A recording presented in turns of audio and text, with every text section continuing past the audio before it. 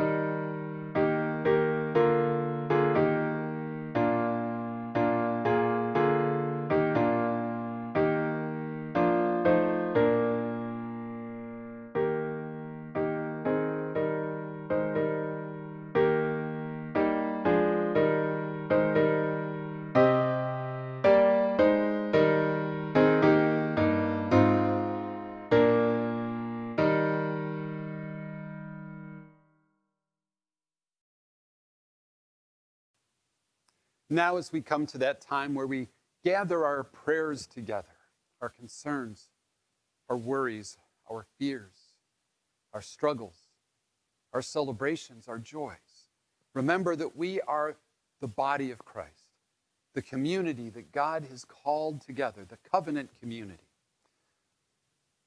Our prayers not only go out to God, but our prayers open our hearts open our spirits and empower us that we can be the answer to the prayers that we pray, not by our, our power, not by our goodness, not even by our love, but because we embody the Spirit of Christ. So, this day, let us pray for those who are sick, those who care for the sick, those who grieve, and those who comfort those who grieve. Let us pray for all who are weary and tired of all of this time of pandemic. Let us pray for Glenn and Rita, Janelle, Michelle, the family of Allen, Sandy, Stephen, Brittany, and Grant, Tony, Linda, Tom and Bev, Jim and Judy, Greg, Judy, Don, Susie, Bill, Buddy, Brenda, and Gloria. Let us lift these situations and people up to our Lord in prayer. Give them to God's care, but also be willing to be the comfort, to be the peace, to be the hope, to be the faith for those who need help in this day and this week. Let us pray. Glorious God, we thank you so much that you sustain us, that you lift us up, and that you have carried us through these difficult times. We confess that at times our faith has grown weak, at times our vision has grown dim, and at times our love has lost its fire. But we know, Lord, that you are steady, you are constant. And even as we fall short, you never do. So we thank you, Lord, for your sustaining grace, for your sanctifying grace, for the power of your Holy Spirit that holds us together and that overcomes all difficulty, all conflict, all brokenness, and all illness. Help us, Lord, to look to you, to set our eyes and our hearts upon the vision that you show us, and set us to be witnesses in the world that all people can look upon your Son and find hope, find healing, find life through the Spirit of Christ, the Holy Spirit, our only hope in any time, good or bad. We pray especially, Lord, for those who are close to us who are suffering. We may often not know how to help them, but we know, Lord, that you know how to help them. So we offer ourselves to be your ministers in the world, proclaim good news, to sit with those who hurt, to comfort those who mourn, and to bring wholeness and healing and hope to those who are broken in mind, body, or spirit. We thank you most of all today, Lord, for your Son, Jesus Christ, who was lifted up on the cross. Help us never to lose sight of not only the sacrifice that Christ made for us, but of the victory that Christ has over all of those things that would separate us from you and from each other. We are so grateful, Lord, that even in our weakness, Jesus is strong. That even in our brokenness, Jesus is whole. And that even in our feeling wayward and lost, Jesus knows the way. And so we gather our voices together to pray as he taught us, saying, Our Father, who art in heaven, hallowed be thy name. Thy kingdom come Thy will be done on earth as it is in heaven. Give us this day our daily bread, and forgive us our trespasses as we forgive those who trespass against us. And lead us not into temptation, but deliver us from evil. For thine is the kingdom, and the power, and the glory forever. Amen.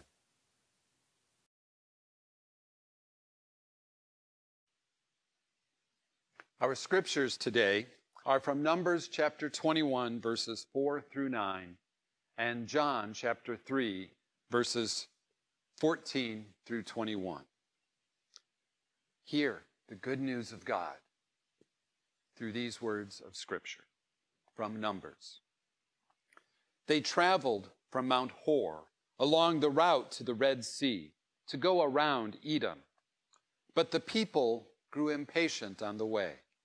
They spoke against God and against Moses and said, Why have you brought us up out of Egypt to die in the wilderness? There is no bread, there is no water, and we detest this miserable food. Then the Lord sent venomous snakes among them. They bit the people, and many Israelites died. The people came to Moses and said, We sinned when we spoke against the Lord and against you. Pray that the Lord will take the snakes away from us. So Moses prayed for the people. The Lord said to Moses, Make a snake and put it up on a pole. Anyone who is bitten can look at it and live. So Moses made a bronze snake and put it up on a pole. Then, when anyone was bitten by a snake and looked at the bronze snake, they lived and from the Gospel of John. Just as Moses lifted up the snake in the wilderness, so the Son of Man must be lifted up, that everyone who believes may have eternal life in him. For God so loved the world that he gave his one and only Son, that whoever believes in him shall not perish, but have eternal life. For God did not send his Son into the world to condemn the world, but to save the world through him. Whoever believes in him is not condemned, but whoever does not believe stands condemned already, because they have not believed in the name of God's one and only Son. This is the verdict. Light has come into the world, but people loved darkness instead of light because their deeds were evil. Everyone who does evil hates the light and will not come into the light for fear that their deeds will be exposed. But whoever lives by the truth comes into the light so that it may be seen plainly that what they have done has been done in the sight of God. The Word of God for the people of God. Thanks be to God.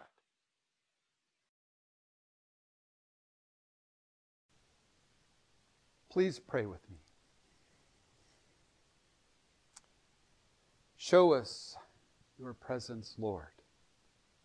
Help us to focus on you in this time and in the days and weeks, months and years to come, so that we never lose sight of your presence.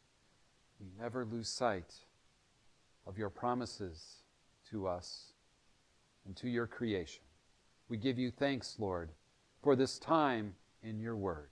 We give you thanks, Lord, for your Son, Jesus Christ, in whose name we pray. Amen.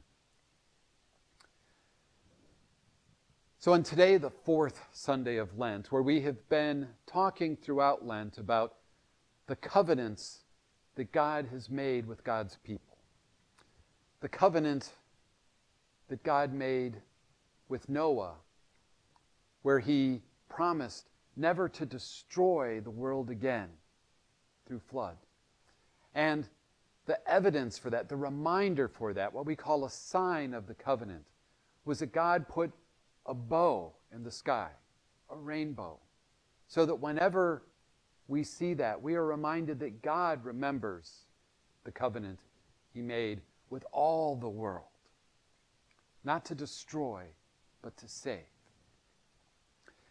And two weeks ago, we talked about the covenant that God made with Abraham to make many nations that would all look to God, descended from Abram and Sarai, or Abraham and Sarah. It was a covenant to establish a people, many peoples, who would know and seek the Lord and be a witness to the rest of the world of God's grace. God's love, God's power and holiness. And the sign of that covenant was circumcision. And then last week, we talked about the covenant that God made with Moses, the covenant to take of all those descendants of Abraham, one clan, one family group, and make of them a people, a nation, who would be set aside by God, which is the meaning of the word holy, to be set aside by God, to carry the word of God to the Gentiles, to carry and remember the saving activity of God on our behalf in the world. And the sign of that covenant was the law. The law that shows when we stray from the covenant. The law isn't the, care, the um, requirement to be in the covenant. The law describes what the lives of the people who live by the covenant will look like. Because when you embody God's word, you embody all of the law. And we were reminded last week that Jesus taught us that all of the law and everything that the prophets said boils down to love God and love neighbor. Now, this week, we aren't talking about a specific covenant, but we are going to focus on another sign of that covenant. And we begin in the Sinai wilderness, shortly after Moses led the people out of Egypt. And the people were crying out to God to deliver them from slavery to the Egyptians. But once they were delivered, they found themselves in the wilderness, in the desert, a place where there was no water, where there was no food, and where they were frightened that Pharaoh's army could still track them down. And despite the fact that God had heard their cry and led them out of Egypt, they grumbled and complained. And despite the fact that God had led them through the Red Sea, they grumbled and complained. And in spite of the fact that God had promised them to care for them and love them, they grumbled and complained because they doubted the goodness of God and they doubted the word of Moses that came from God. In our own time, we were also journeying through a wilderness, this wilderness of the pandemic. And, and the truth is, even without the pandemic, we're in a wilderness of a world that often seems hostile to our values, a world that seems to embrace sin and live in the darkness, as John said in his gospel passage we read. We're not so different from the Israelites because we find ourselves in a situation where we don't know the way out. We don't know the way forward. We don't know what lies ahead. We, like the Israelites wandering in the wilderness, fear. We, like the Israelites wandering in the wilderness, wonder if we're going to be taken care of. We, like the Israelites wandering in the wilderness, wonder if there is safety. We wonder if there is a future and a hope. Or have we found ourselves here in this wilderness, especially the wilderness of the pandemic, only to die as a people, only to die as a church, only to die as the people of God? Now, hopefully, we all trust that our individual salvation is secure. But yet, as we look at our families suffering, we look at people who've lost work, we look at people who've become sick. We look at people who seem to be fine. And there's all of these wilderness situations around us. We too fear. We also doubt. We also grumble. The Israelites grumbled and complained because they had forgotten, or they did not trust, or they did not believe that God's promise to deliver them from the horrors of slavery in Egypt would be made valid, made real. The path to the promised land was a difficult, long, and arduous one, made longer and more arduous by their grumbling and complaining, by their idolatry and their turning again and again back to their old ways, back to the ways of the world of Egypt.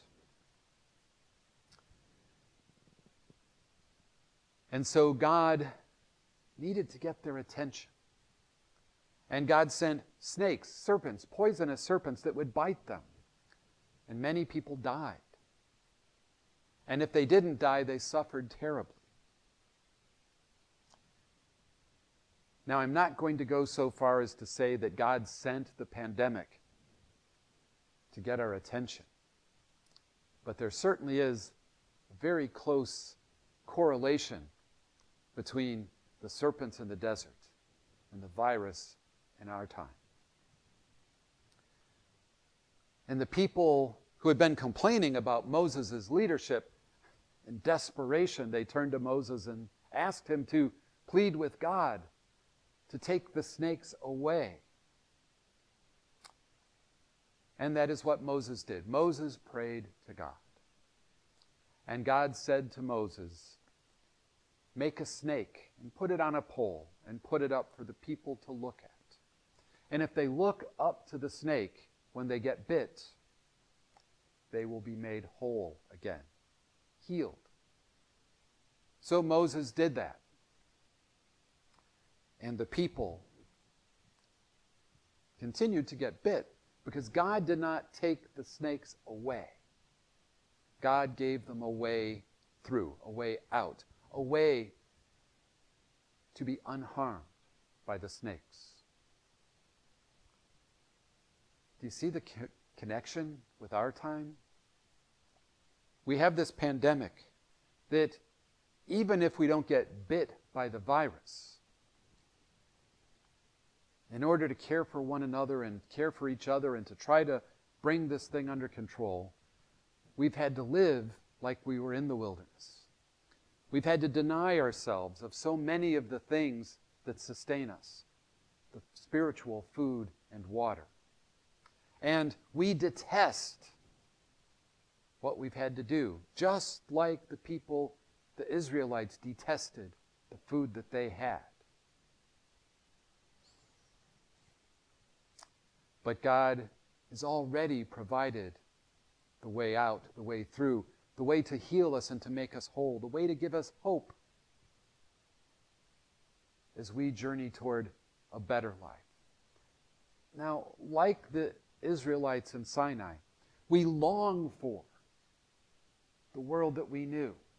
It wasn't Egypt, and we weren't in slavery. But the world that we knew before the pandemic was still far short of the world and the life, the kingdom that God has promised us in this life, that life abundant that Jesus talked about. And it was a far cry from the glory and the peace. It was okay. But God wants so much more for us. And God wants so much more for the people around us who don't know the good news of Jesus Christ the way we do. But God has also provided a way to remind us of God's eternal, never ending, never failing care and as John tells us, just like the snake on the pole in the wilderness, that when the people looked to it, they were reminded of God's healing power, and they were healed. Jesus was put up on a pole, a cross, to show us that God has not abandoned us. God will not abandon us. God will not condemn us if we just look up and believe. If we look up, we will live. in the difficult times, we are called to look to the sign of God's love, Jesus Christ. When we look to the cross, when we look to Christ on the cross, when we look to the empty tomb, we are healed and made whole because we can again believe and trust and obey. God has made a way for us. God has a plan for us. And it's a glorious and wonderful plan. And we don't always know what the next step is. But if we look up to Christ, we can be assured that God's plan is good, that God's plan is good for us. And there is no snake in the desert, there is no virus or pandemic that can tear apart God's people when we look to Christ.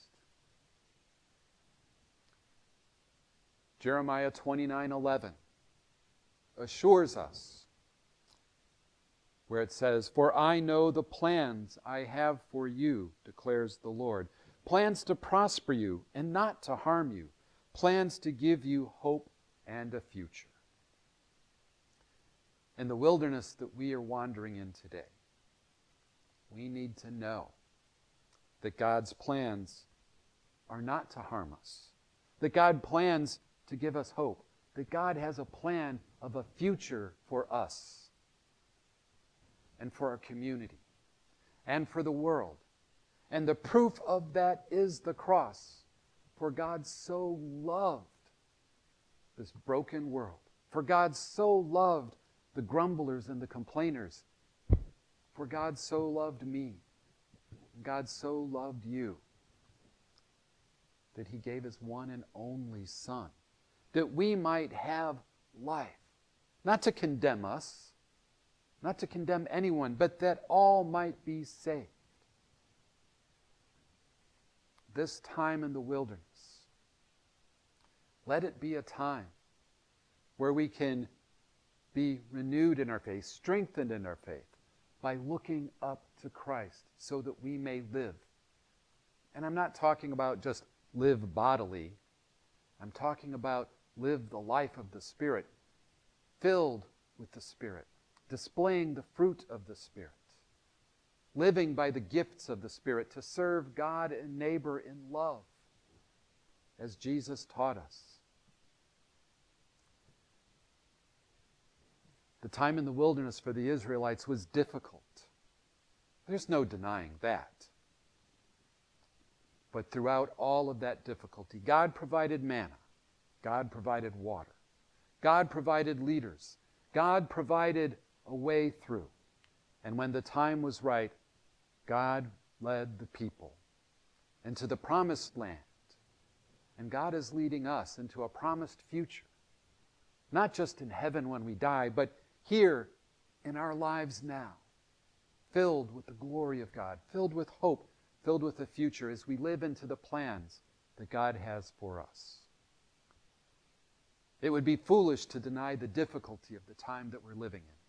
It would be unworthy to deny that these struggles and trials have harmed us, harmed our loved ones, harmed our relationships with each other, harmed our relationships with the world, and cut us off from so many things that bring us joy. But when we look to Christ, may we find the true source of all joy, the true source of all hope, the true source of all life and community, the love of God displayed on that cross, hung up for us to look to and find hope and faith, renewed love, renewed spirit, and living in the promise of the future that God plans for us. Amen.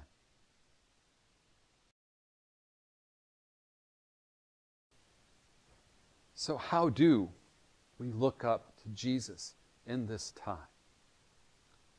When we are constantly tempted to look down at all that's broken in our lives, to look at one another with suspicion, with anger in our disagreements, to live in the desert and seeing only the snakes. How do we look up to Jesus? Well, to live the call this week, it's looking up. Not up at the ceiling, not up at the sky, but up at the glory of Christ and the life of sacrifice that was done on our behalf. And the way that we can look up is to work on our own relationship with Jesus. When we are hurting, pray. When we feel broken or harmed, turn to Scripture. When we don't know what tomorrow will bring, when our weariness seems like we can't go on another day, we work on our relationship with Jesus. We admit, confess our doubts and our fears and our hurts and our brokenness. And we offer them to Christ. We confess them to one another so that we can all be encouraged by the fact that none of us are in this alone, even though it has felt so very much like we are alone. Confess, study, pray, share, serve, and prepare. Prepare for the next leg of the journey. Prepare for what God has in store for us. I am convinced that God has something wonderful in store for our church, our lives, our community. To prosper us as a faithful and fruitful church. May our study, our prayer, our service, as we look up to Christ, seek not to go back to what we had before, but seek to find something more glorious, more holy, more beautiful, more fruitful, and more faithful. As things improve, we will be working toward how to make our church, our faith community, stronger and more faithful, deeper in love with Christ, deeper in love to each other, deeper in service to the world. I'm calling it reboot, reform, and renew. And the timeline for that is impossible to predict at this moment. But it will be a life of renewed discipleship, a life of strengthening our relationships with each other, and a life of joyful service in the world that transforms not just those we serve, but transforms us, so that we all are looking up to Jesus, looking up to the hope, looking forward to the plans that God has already made for us to prosper us and to give us a future, a glorious and beautiful future. Prepare pray for, hope for. Don't doubt. Don't grumble. But if you do doubt and grumble, look to Christ and live. Let us pray. God of crucifixion and resurrection, we are in awe of the depths of your love, that you would go to such an extent to reveal your grace and mercy for the world as we rend our hearts and as we look up to the symbol of Jesus' cross, may we understand the reminders of your abundant and life giving love. Empower us to extend your love to all we encounter this week, especially as they feel the bites of the snakes that threaten us now. When they cannot look up, may we look up for them and help them to look up to your Son, Jesus Christ, in whose name we pray. Amen. And let us now sing our final hymn, Beneath the Cross of Jesus.